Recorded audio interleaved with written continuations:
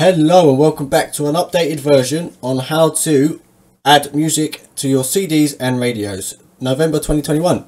So the last tutorial there was a few problems everyone was having, it wasn't working and all that yada yada yada. So hopefully this one will um, get you guys having your music on blaring in your cars on a one take. Alright, so first things first, you need to get yourself a program to convert your MP3 music files to OGG. Now I use Audacity, you can use whatever really, anything that can convert, you can even do it online. So all you do is just download it right there, uh, latest version. And then once you've downloaded it, obviously you just click on it, run the um, install setup and you're good to go. You're not stupid, you should know how to do that. Once you've done that, you will then launch Audacity. Don't show this again. And then all you got to do is just add your music files. I'm going to be adding my own music this time. As last time we got in trouble. And then just check it's the right songs for yourselves.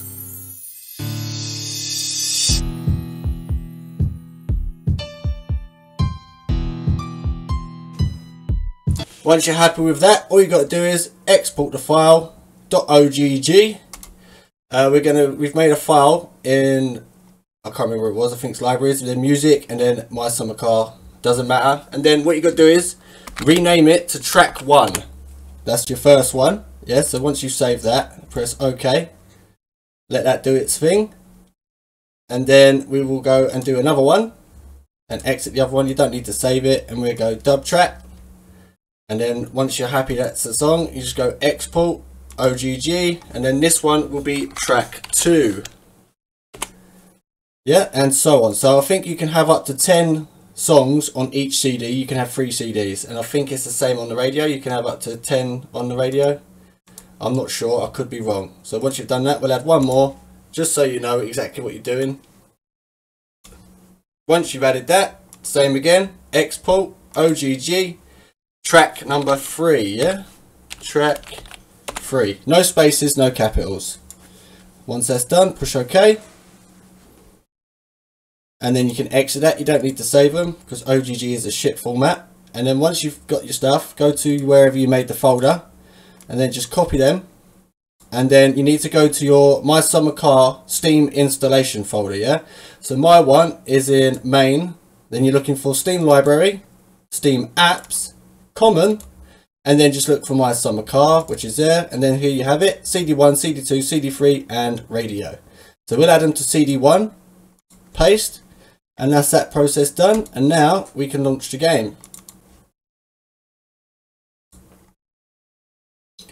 Once launched and you're in the menu, you want to click this little thing down here, import music files, which is what you've added to your CDs and radio.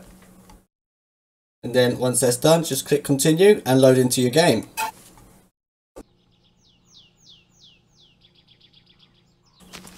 Once loaded in, you will then see your CD over here on the desk, but I need to quickly install my CD player. So if we quickly do that, and then I'll show you it all working. So if you've got your old one in there, all you need to do is grab yourself a size 10, undo these two bolts here, one,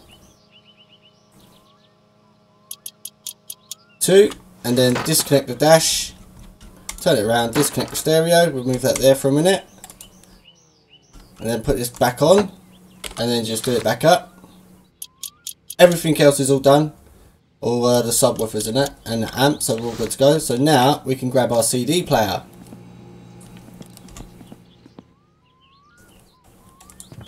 There we go. Once that's installed, installed, all you got to do is go grab your CD player. I mean your CD.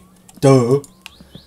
Grab it. There we go. And then we take it in. Sometimes it won't go in. The CD won't go in the CD player unless it's turned on.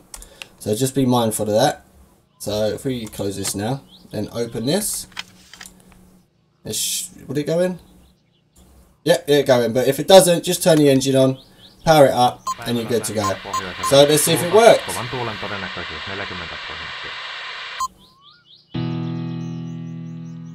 Right, so there you go. Track one's working. Put these windows down.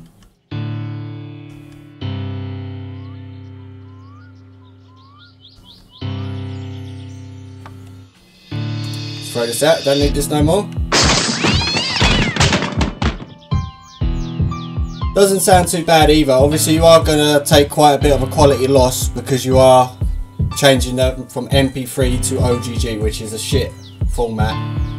So then, if you want to change your track, just go next. I think I don't think you can go previous either. But that's pretty much all there is to it. That's how you add your own music to My Summer Car. So hopefully you won't have any more issues when you do this yourself. But in if the, the unfortunate case happens, do let us know down in the comments below and I'm sure me or someone else will do our best to try and help you. Alright, so I hope this helps you out. Thank you for watching. I love you all and I'll see you in the next one.